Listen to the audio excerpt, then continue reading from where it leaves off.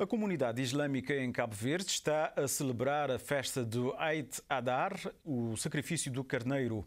A celebração é um marco importante na tradição islâmica para lembrar a promessa de Abraão a Deus e o sacrifício com o filho Ismael. A celebração desta quarta-feira contou com a presença do Presidente da República e, do, e, e decorre durante quatro dias.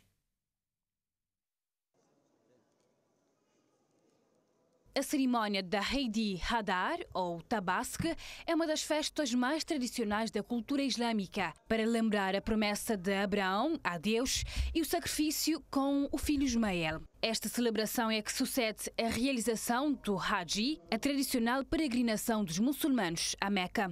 Hoje é um dia especial para nós, é um dia de celebração, é um dia em que os muçulmanos seguem a tradição do nosso avô, profeta patriarcal de todas uh, as três religiões. E nós muçulmanos seguindo aquela tradição que Deus salvou a vida do Ismael em troca de um carneiro que o seu pai, que é o profeta Abrão, sacrificou nesse dia. Então é um dia muito grande para nós, é um dia de paz e nós também queremos desejar esse mesmo paz a todo o povo cabo-verdiano. A partir do décimo dia do mês de Dhul-Hijjah, o último mês do ano lunar do calendário islâmico, se celebra por quatro dias a festa do sacrifício.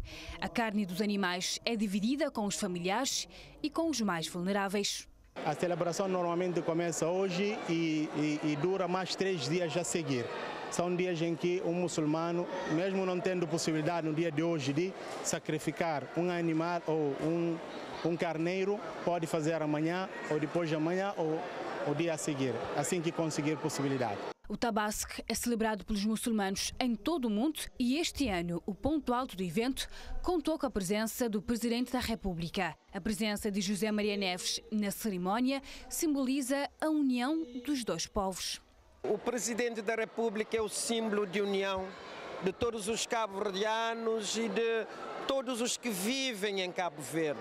As comunidades uh, imigradas devem sentir-se bem e devem sentir-se representadas em Cabo Verde. A cerimónia do Tabasque é popularmente conhecida como a celebração do sacrifício do carneiro, mas dependendo da condição económica dos membros, podem ser sacrificados outros animais de grande porte.